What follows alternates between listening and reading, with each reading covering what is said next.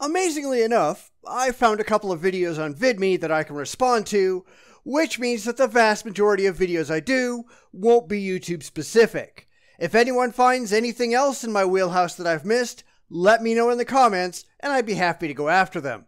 But anyway, here we get a campus apologist trying to explain their beliefs on sin, but there are even better questions that need to be addressed. So, can you stop sinning? And if not, why not? God desires to save you this day. Save me from what exactly? I mean, that's an honest question. After all, God set up the system where I'm damned from birth. He could change that at any time, but He doesn't.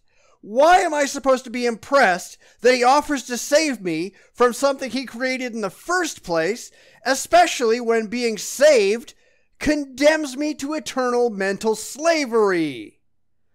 No thanks. So think about whether or not what I'm saying to you is true or not. Because it's either true or it's false, but it's not just my belief, it's one or the other. Mm-hmm. Is that fair? Mm-hmm. And that is true. But how do we determine if it's true or false? We have to go with the evidence, and frankly, there is no evidence that what you believe is true. It doesn't matter how those beliefs make you feel, that has nothing to do with whether a proposition is factually correct or not. And of course, that's something that theists simply don't care about. They're only in it for the feels. You're just patronizing me now, aren't you? I think it's funny how many people are paying attention to this guy. He's not exactly drawing a big crowd, is he? I mean, there are a couple of people on the sidelines, but mostly he's just talking to himself. No. Any que- you want to say anything before you scoot? Yeah, does that mean I can do whatever I want and I'm forgiven? Yeah, that's a good question. Too bad you won't have a good answer, at least not one that will make sense to a genuine skeptic. But go ahead, let's see what you've got. I would let me let me answer it in a two steps here. Number 1 is God will forgive any sinner. Not true according to Mark 3 22 through 30 and Matthew 12 22 through 32, blaspheming against the Holy Spirit is unforgivable. Are you really that unaware of your own theology? Because Jesus is divine, and so his sacrifice can forgive any sin. But that really is a silly idea when you think about it. How does it make any sense to think that God can sacrifice himself to himself to forgive sins that he could just arbitrarily forgive in the first place, how does that make any sense whatsoever? Hello? Hello? Anybody home? Oh. Think, McFly. Think. Now, if you're saying, hmm, I can go about sinning all that I want to because I'm covered by that, it would be like a young man, a boy, who goes out camping with his father. They set up camp on the shore of the beach, and dad says, Son, whatever you do, I'm going to take a nap. Don't go into that, that life that boat because it's alligator infested water. Kid says, "Okay, dad." Dad falls asleep. The kid starts looking at the paddle boat and he thinks, I think I'm going to give it a go. He goes out into the middle of the lake. All of a sudden, a bunch of alligators start swirling around. He gets a little panicked. He gets rocked. He tips over and passes out. The next thing you know, he wakes up with his head on the sand, looking up at the sky. He turns and looks over, and his dad has been clearly mauled by alligators, and he immediately knows, wow, I blew it, and my dad jumped in to rescue me. He saved me from that. Now, imagine if that young man then said, Thanks, Dad. And then he went back out in the boat and did it again. You would say, He doesn't esteem the sacrifice of his father. Bad analogy because God suffers nothing, or at least needs to suffer nothing, to save us from the sins that he himself imposed upon us. The whole Jesus sacrifice thing is just bad theater. It reminds me of people who make supposed prank videos using paid actors. None of it matters. Nobody gets hurt. It's all a scam meant to fool the rubes into forking over their hard earned money.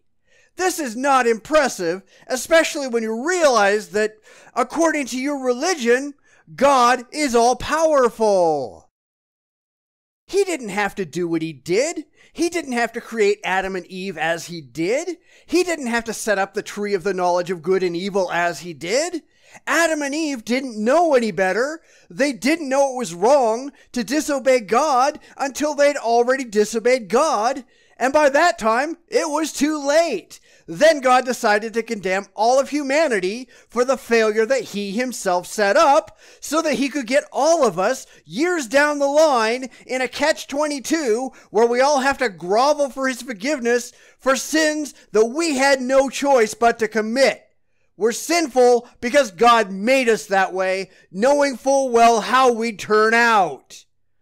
Your God is a real jerk, sorry when you understand that Jesus actually died for you in a very nasty, humiliating way, you don't want to sin anymore.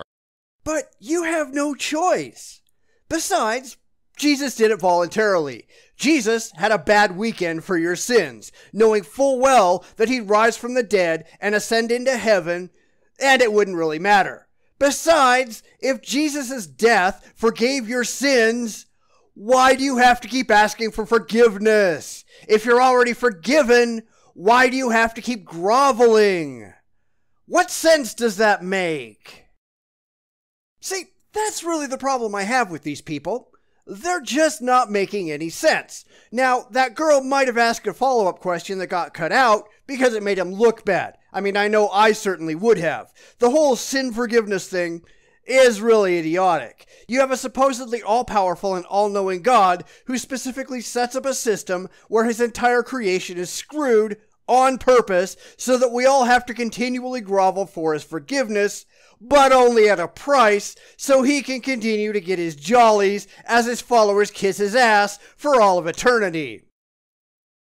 And this is a worthwhile God? Seriously? No, this God is a dick, a complete jackass, a reprehensible monster. And of course, there's no reason to think that this God actually exists. It's all mythology made up by men in robes and funny hats so they can have power over the people and make money from their delusions. And unfortunately, it's worked for thousands of years. Luckily, it's not working all that well anymore. More and more people are just walking away from the faith because it makes no sense.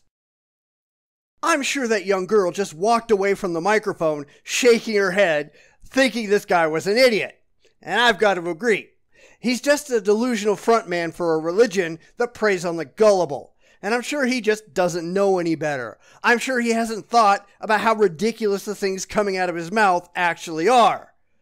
But as they say, think, McFly, think. It can't hurt might actually do you some good. Give it a shot sometime, won't you? Everything changes.